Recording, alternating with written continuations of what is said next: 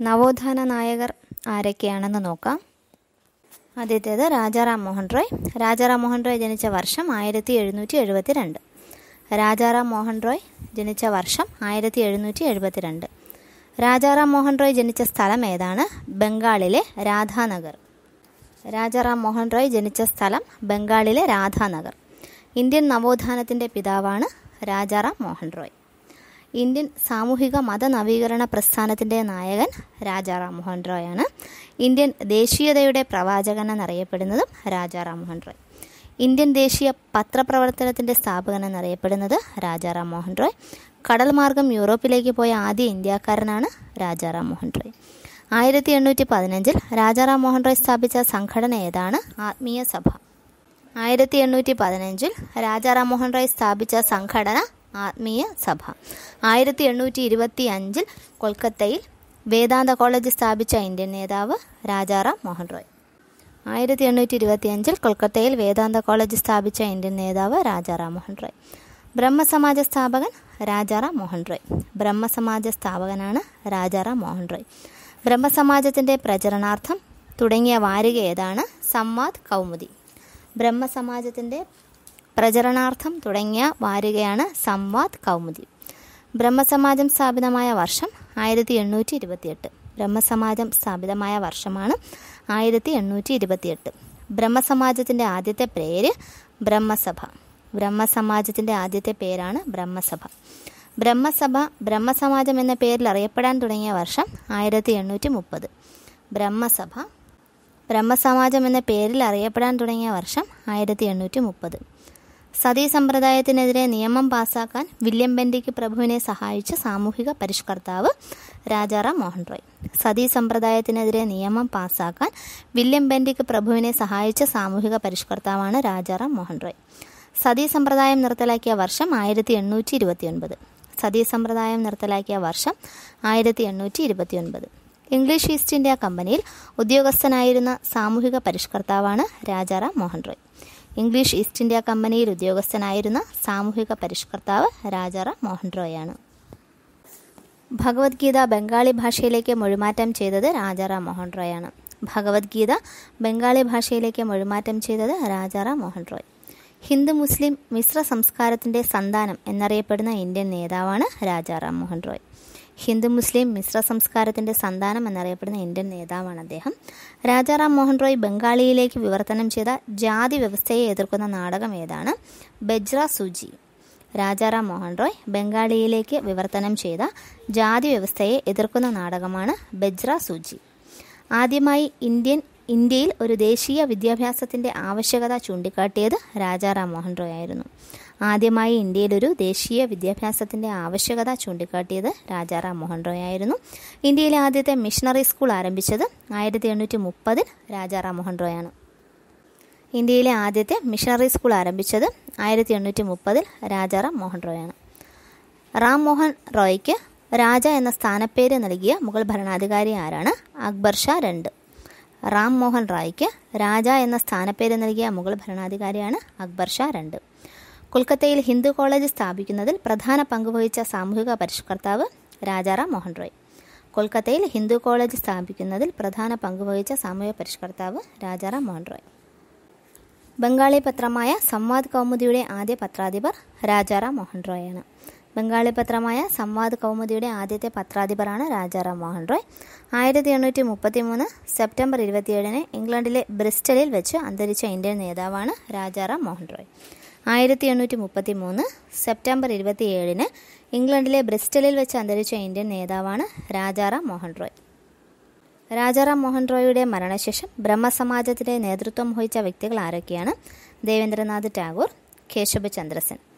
രാജാറാം മോഹൻ റോയിയുടെ മരണശേഷം ബ്രഹ്മസമാജത്തിന്റെ നേതൃത്വം വഹിച്ച വ്യക്തികളാണ് ദേവേന്ദ്രനാഥ ടാഗോറും കേശവ് ചന്ദ്രസെനും ബ്രഹ്മസമാജത്തിന്റെ രണ്ട് പിരിവുകൾ ഏതൊക്കെയാണ്? ആദി ബ്രഹ്മസമാജവും ഭാരതീയ ബ്രഹ്മസമാജവും.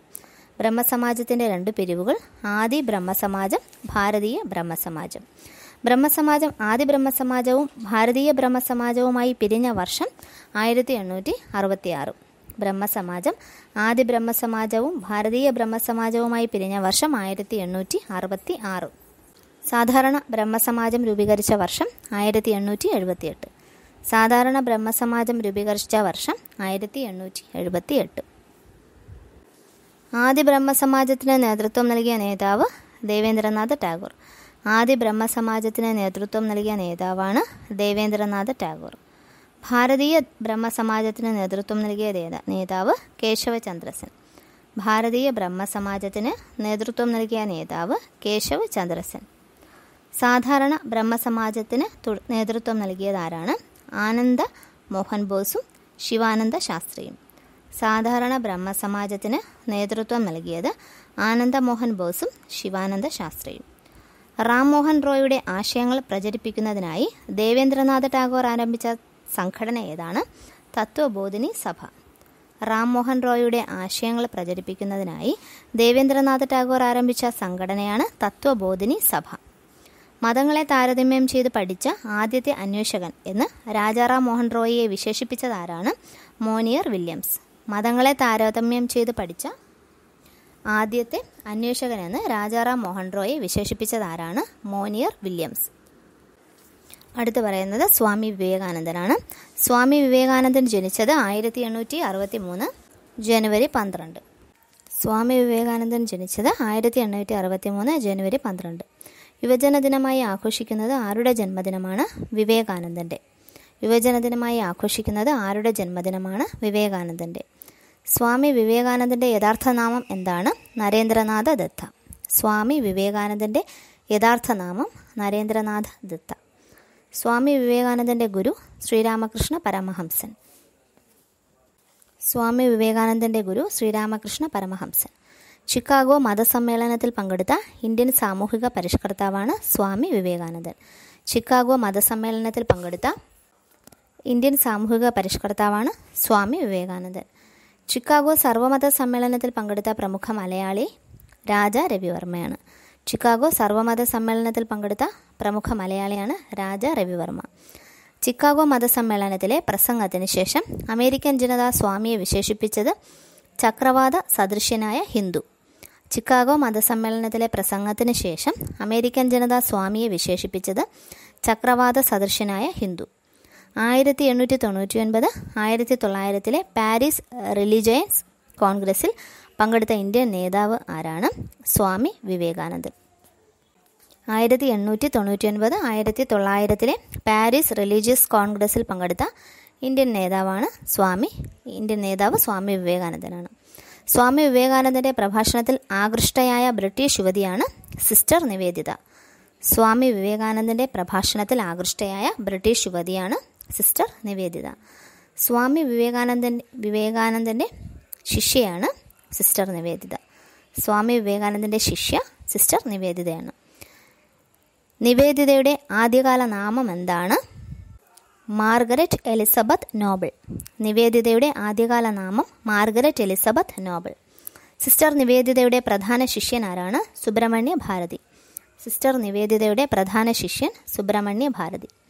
സ്വാമി വിവേകാനന്ദൻ ന്യൂയോർക്കിൽ സ്ഥാപിച്ച സംഘടന ഏതാണ്? വേദാന്ത സൊസൈറ്റി ഓഫ് ന്യൂയോർക്ക് ആയിരത്തി എണ്ണൂറ്റി തൊണ്ണൂറ്റി നാലിലാണ് സ്ഥാപിച്ചത്. സ്വാമി വിവേകാനന്ദൻ ന്യൂയോർക്കിൽ സ്ഥാപിച്ച സംഘടന വേദാന്ത സൊസൈറ്റി ഓഫ് ന്യൂയോർക്ക് വർഷം ആയിരത്തി എണ്ണൂറ്റി തൊണ്ണൂറ്റി നാല് ഇന്ത്യൻ ദേശീയ പ്രസ്ഥാനത്തിന്റെ ആത്മീയ പിതാവെന്ന് വിവേകാനന്ദനെ വിശേഷിപ്പിച്ചത് ആരാണ് നേതാജി സുഭാഷ് ചന്ദ്രബോസ്.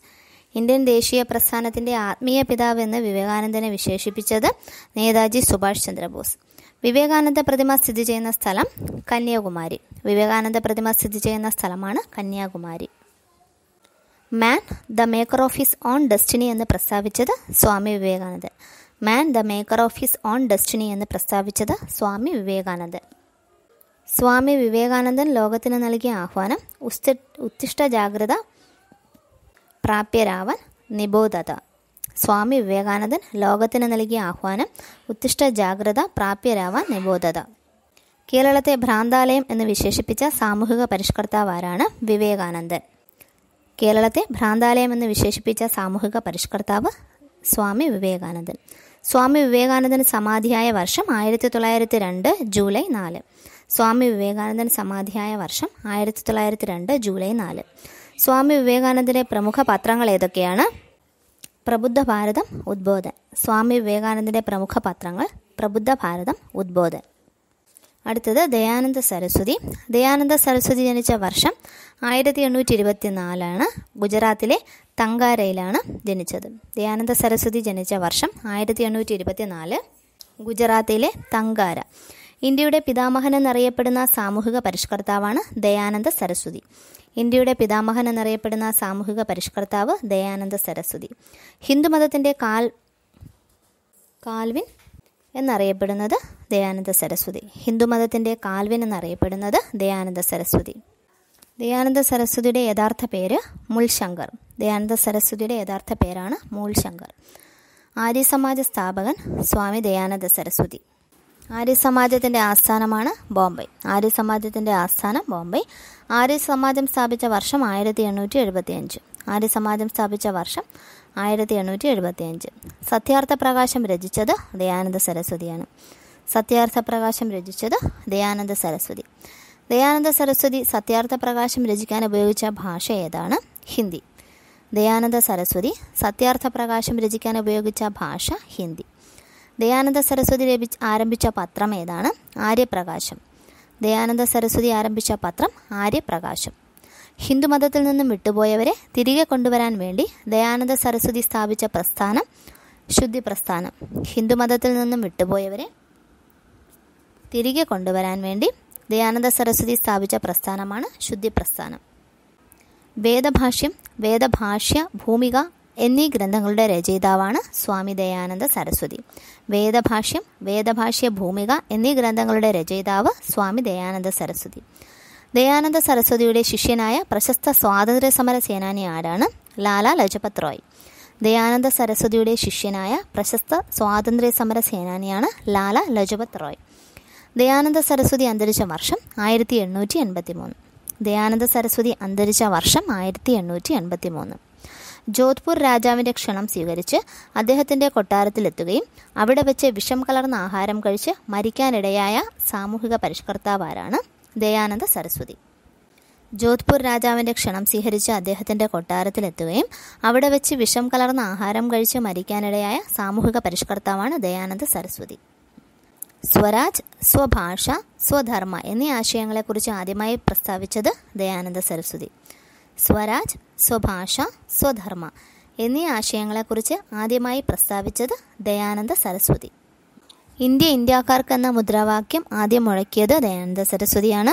ആര്യന്മാർ ഇന്ത്യയിലേക്ക് വന്നത് ടിബറ്റിൽ നിന്നാണെന്ന് അഭിപ്രായപ്പെട്ടത് ദയാനന്ദ സരസ്വതിയാണ്. വേദങ്ങളിലേക്ക് മടങ്ങാൻ ആഹ്വാനം ചെയ്ത സാമൂഹിക പരിഷ്കർത്താവ് ദയാനന്ദ സരസ്വതിയാണ്. ഗീതയിലേക്ക് മടങ്ങുക എന്ന് ആഹ്വാനം ചെയ്തത് സ്വാമി വിവേകാനന്ദനാണ്. ഗീതയിലേക്ക് മടങ്ങുക എന്ന് ആഹ്വാനം ചെയ്തത് സ്വാമി വിവേകാനന്ദൻ. അടുത്ത് പറയുന്നത് ആത്മാറാം പാണ്ഡുരംഗ്. പ്രാർത്ഥനാ സമാജം സ്ഥാപിച്ചത് ആത്മാറാം പാണ്ഡുരംഗ്. പ്രാർത്ഥനാ സമാജം സ്ഥാപിച്ചത് ആത്മാറാം പാണ്ഡുരംഗ്. പ്രാർത്ഥനാ സമാജം സ്ഥാപിക്കപ്പെട്ട വർഷം ആയിരത്തി എണ്ണൂറ്റി അറുപത്തി ഏഴ് പ്രാർത്ഥനാ സമാജം സ്ഥാപിക്കപ്പെട്ട വർഷം ആയിരത്തി എണ്ണൂറ്റി അറുപത്തി ഏഴായിരുന്നു ഹിന്ദുമത ചിന്തകളെയും അനുഷ്ഠാനങ്ങളെയും ആധുനിക വിജ്ഞാനത്തിന്റെ വെളിച്ചത്തിൽ പരിഷ്കരിക്കുക എന്നതായിരുന്നു പ്രാർത്ഥനാ സമാജത്തിന്റെ ലക്ഷ്യം. ഹിന്ദുമത ചിന്തകളെയും അനുഷ്ഠാനങ്ങളെയും ആധുനിക വിജ്ഞാനത്തിന്റെ വെളിച്ചത്തിൽ പരിഷ്കരിക്കുക എന്നതായിരുന്നു പ്രാർത്ഥനാ സമാജത്തിന്റെ ലക്ഷ്യം. പത്തൊൻപതാം നൂറ്റാണ്ടിൽ മിശ്രഭോജനം മിശ്രവിവാഹം വിധവാ പുനർവിവാഹം എന്നീ പുരോഗതിക്കായി നിലകൊണ്ട പരിഷ്കരണ പ്രസ്ഥാനം എന്താണ്? പ്രാർത്ഥനാ സമാജം. പത്തൊൻപതാം നൂറ്റാണ്ടിൽ മിശ്രഭോജനം മിശ്രവിവാഹം വിധവാ പുനർവിവാഹം എന്നീ പുരോഗതിക്കായി നിലകൊണ്ട പരിഷ്കരണ പ്രസ്ഥാനമാണ് പ്രാർത്ഥനാ സമാജം. പ്രാർത്ഥനാ സമാജത്തിന്റെ മറ്റു നേതാക്കൾ ആരൊക്കെയാണ്? M G Ranade R G Bhandarkar K T Tilak. പ്രാർത്ഥനാ സമാജത്തിന്റെ മറ്റു നേതാക്കളാണ് M G Ranade R G Bhandarkar K T Tilak. ഹരിദ്വാറിൽ Kangri ഗുരുകുലം സ്ഥാപിച്ച സംഘടന ആര്യ സമാജം. ഹരിദ്വാറിൽ കാങ്ക്രി ഗുരുകുലം ഗുരുകുലം സ്ഥാപിച്ച സംഘടനയാണ് ആര്യ സമാജം. പത്ത് സിദ്ധാന്തങ്ങൾ ഏത് പ്രസ്ഥാനവുമായി ബന്ധപ്പെട്ടിരിക്കുന്നു? ആര്യ സമാജം. പത്ത് സിദ്ധാന്തങ്ങൾ ഏത് പ്രസ്ഥാനവുമായാണ് ബന്ധപ്പെട്ടിരിക്കുന്നത്? Arya Samajam. Dayananda Anglo Vedic college സ്ഥാപിച്ചത് Lala Hasan's Lala Hans Raj. Dayananda Anglo Vedic college സ്ഥാപിച്ചത് Lala Hans Raj. Dayananda Anglo Vedic school സ്ഥിതി ചെയ്യുന്നത് എവിടെയാണ്? Lahore. Dayananda Anglo Vedic school സ്ഥിതി ചെയ്യുന്നത് ലാഹോർ. തെക്കേ ഇന്ത്യയിലെ ദയാനന്ദൻ എന്നറിയപ്പെടുന്നത് രാമലിംഗ അടികൾ. തെക്കേ ഇന്ത്യയിലെ ദയാനന്ദൻ എന്നറിയപ്പെടുന്നത് രാമലിംഗ അടികൾ. അടുത്തത് ജ്യോതിറാവു ഫുലെ. ഇന്ത്യയിലെ ജാതിവിരുദ്ധ ബ്രാഹ്മണ വിരുദ്ധ പ്രസ്ഥാനത്തിന്റെ യഥാർത്ഥ സ്ഥാപകൻ എന്നറിയപ്പെടുന്നത് ജ്യോതിറാവു ഫുലെ. ഇന്ത്യയിലെ ജാതിവിരുദ്ധ ബ്രാഹ്മണ വിരുദ്ധ പ്രസ്ഥാനത്തിന്റെ യഥാർത്ഥ സ്ഥാപകൻ എന്നറിയപ്പെടുന്നത് ജ്യോതിറാവു ഫുലെ. ഗോവിന്ദറാവു ഫുലെ എന്ന പേരിൽ അറിയപ്പെടുന്നത് ജ്യോതിറാവു ഫുലെ. ഗോവിന്ദറാവു ഫുലെ എന്ന പേരിൽ അറിയപ്പെടുന്നത് ജ്യോതിറാവു ഫുലെ. സത്യശോധക് സമാജ് സ്ഥാപിച്ചത് ജ്യോതിറാവു ഫുലെയാണ്. സത്യശോധക് സമാജ് സ്ഥാപിച്ചത് ജ്യോതിറാവു ഫുലെ. മഹാരാഷ്ട്രയിലെ ആദ്യത്തെ വിപ്ലവകരമായ സാമൂഹിക പരിഷ്കരണ പ്രസ്ഥാനം സത്യശോധക് സമാജ്.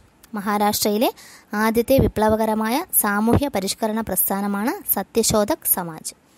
സത്യശോധക് സമാജ് സ്ഥാപിച്ച വർഷം ആയിരത്തി എണ്ണൂറ്റി എഴുപത്തി മൂന്ന് സത്യശോധക് സമാജ് സ്ഥാപിച്ച വർഷം ആയിരത്തി എണ്ണൂറ്റി എഴുപത്തി മൂന്ന് സത്യശോധക് സമാജ് സ്ഥാപിച്ചത് എവിടെയാണ്? മഹാരാഷ്ട്രയിലെ പൂനെയിൽ. സത്യശോധക് സമാജ് സ്ഥാപിച്ചത് എവിടെയാണ്? പൂനെയിൽ. ഗുലാംഗിരി എന്ന ഗ്രന്ഥത്തിന്റെ രചയിതാവ് ജ്യോതിറാവു ഫുലെ. ഗുലാംഗിരി എന്ന ഗ്രന്ഥത്തിന്റെ രചയിതാവ് ജ്യോതിറാവു ഫുലെ. ഗുലാംഗിരി എന്ന വാക്കിനർത്ഥം എന്താണ്? അടിമത്തം. ഗുലാംഗിരി എന്ന വാക്കിനർത്ഥം അടിമത്തം. അംബേദ്കറുടെ രാഷ്ട്രീയ ഗുരു ജ്യോതിറാവു ഫുലെ. അംബേദ്കറുടെ രാഷ്ട്രീയ ഗുരുവാണ് ജ്യോതിറാവു ഫുലെ. ഇന്ത്യയിലെ സാമൂഹിക വിപ്ലവത്തിന്റെ പിതാവെന്ന് ജ്യോതിറാവു ഫുലെയെ വിശേഷിപ്പിച്ചതാരാണ്? ധനഞ്ജയ് കിർ.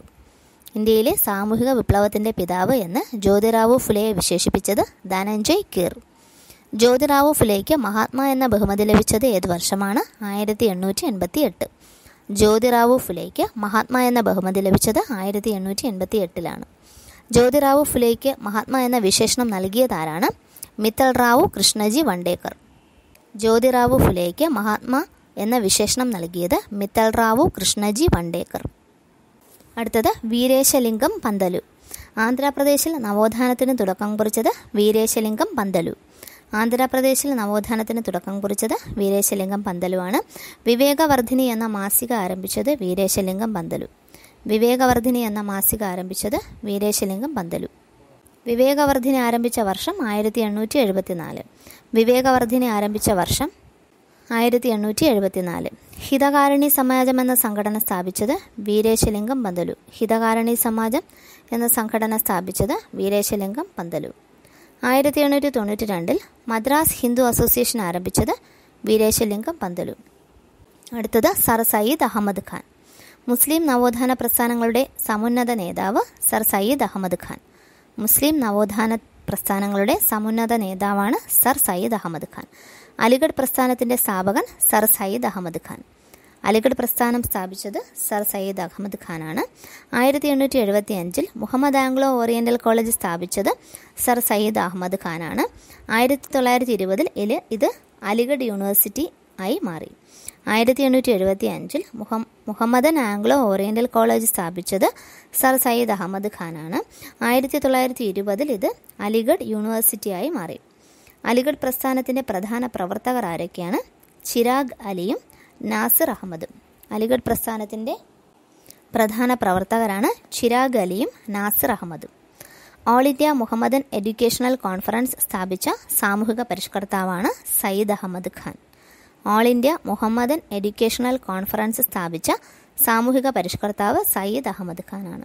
കോൺഗ്രസിന്റെ രൂപീകരണത്തെ എതിർത്ത് ആയിരത്തി എണ്ണൂറ്റി എൺപത്തി എട്ടിൽ യുണൈറ്റഡ് ഇന്ത്യ പാട്രിയോട്ടിക് അസോസിയേഷൻ സ്ഥാപിച്ചത് സയ്യിദ് അഹമ്മദ് ഖാനാണ് കോൺഗ്രസിന്റെ രൂപീകരണത്തെ എതിർത്ത് ആയിരത്തി എണ്ണൂറ്റി എൺപത്തി എട്ടിൽ യുണൈറ്റഡ് ഇന്ത്യ പാട്രിയോട്ടിക് അസോസിയേഷൻ സ്ഥാപിച്ചത് സയ്യിദ് അഹമ്മദ് ഖാൻ. സർ സയ്യിദ് അഹമ്മദ് ഖാൻ സ്ഥാപിച്ച പത്രം എന്താണ്? തഹ്സീബ് ഉൾ അഖ്ലാഖ്. സർ സയ്യിദ് അഹമ്മദ് ഖാൻ സ്ഥാപിച്ച പത്രമാണ് തഹ്സീബ് ഉൾ അഖ്ലാഖ്. ഹിന്ദുവും മുസ്ലിമും ഇന്ത്യയുടെ രണ്ടു കണ്ണുകളാണെന്ന് അഭിപ്രായപ്പെട്ടത് സയ്യിദ് അഹമ്മദ് ഖാൻ. ഹിന്ദുവും മുസ്ലിമും ഇന്ത്യയുടെ രണ്ടു കണ്ണുകളാണെന്ന് അഭിപ്രായപ്പെട്ടത് സയ്യിദ് അഹമ്മദ് ഖാൻ. അടുത്ത തിയോസഫിക്കൽ സൊസൈറ്റിയെക്കുറിച്ചുള്ള ചോദ്യങ്ങൾ നോക്കാം. ആയിരത്തി എണ്ണൂറ്റി എഴുപത്തി അഞ്ചിൽ അമേരിക്കയിലെ ന്യൂയോർക്കിൽ സ്ഥാപിച്ച സംഘടനയാണ് തിയോസഫിക്കൽ സൊസൈറ്റി. ആയിരത്തി എണ്ണൂറ്റി എഴുപത്തി അഞ്ചിൽ അമേരിക്കയിലെ ന്യൂയോർക്കിൽ സ്ഥാപിച്ച സംഘടനയാണ് തിയോസഫിക്കൽ സൊസൈറ്റി. തിയോസഫിക്കൽ സൊസൈറ്റിയുടെ സ്ഥാപകൻ മാഡം ബ്ലാവിഡ്സ്കിയും കേണൽ ഓൾക്കോൾട്ടുമാണ് തിയോസഫിക്കൽ സൊസൈറ്റിയുടെ സ്ഥാപകർ മാഡം ബ്ലാവിഡ്സ്കിയും കേണൽ ഓൾക്കോട്ടും. ബ്രഹ്മവിദ്യാ സംഘം എന്ന പേരിൽ അറിയപ്പെടുന്നത് തിയോസഫിക്കൽ സൊസൈറ്റിയാണ്. ബ്രഹ്മവിദ്യാ സംഘം എന്ന പേരിൽ അറിയപ്പെടുന്നത് തിയോസഫിക്കൽ സൊസൈറ്റിയാണ്. ഇന്ത്യൻ തിയോസഫിക്കൽ സൊസൈറ്റിയുടെ ആസ്ഥാനം മദ്രാസിലെ അടയാറാണ്. ഇന്ത്യൻ തിയോസഫിക്കൽ സൊസൈറ്റിയുടെ ആസ്ഥാനം മദ്രാസിലെ അടയാർ. തിയോസഫിക്കൽ സൊസൈറ്റിയുടെ ഇന്ത്യയിലെ മുഖ്യ പ്രവർത്തകയാണ് ആനി ബസന്റ്.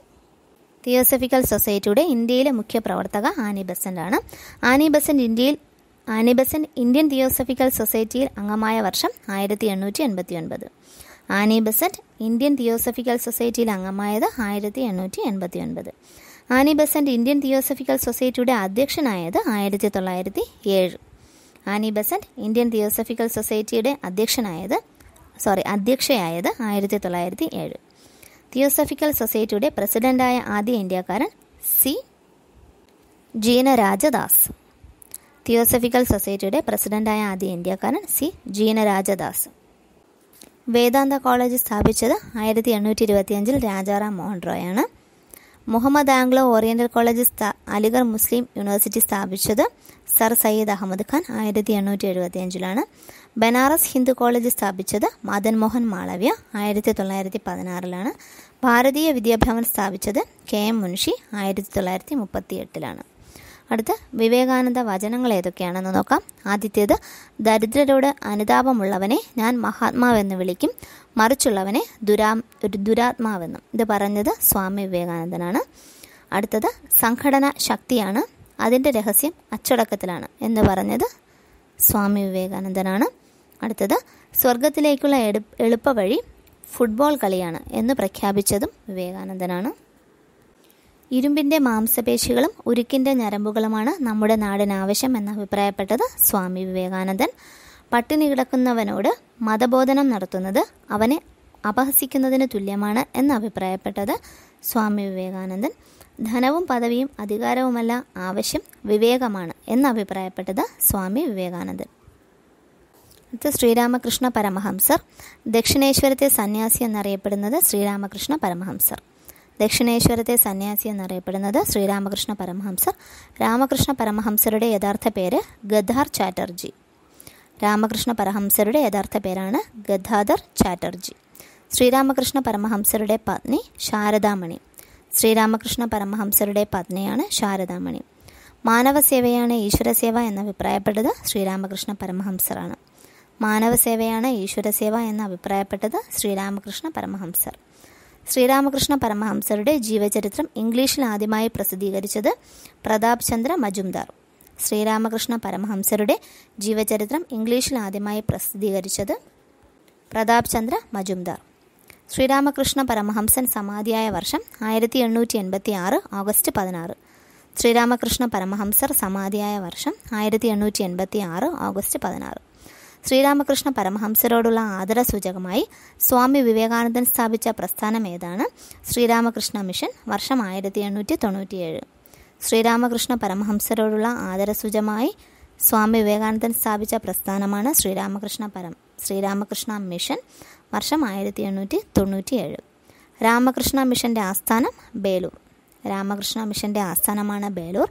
രാമകൃഷ്ണ മിഷന്റെ വനിതാ വിഭാഗമാണ് ശാരദാ മഠം. രാമകൃഷ്ണ മിഷന്റെ വനിതാ വിഭാഗം ശാരദാ മഠം. നവോത്ഥാന നായകരായ രാജാറാം മോഹൻ റോയ് സ്വാമി വിവേകാനന്ദൻ ദയാനന്ദ സരസ്വതി ജ്യോതിറാവു ഫുലെ ആത്മാറാം പാണ്ഡുരംഗ് വീരേശലിംഗം പന്തലു സർ സയ്യിദ് അഹമ്മദ് ഖാൻ എന്നിവരെക്കുറിച്ചുള്ള ചോദ്യോത്തരങ്ങളാണെന്ന് പറഞ്ഞത്. Okay thank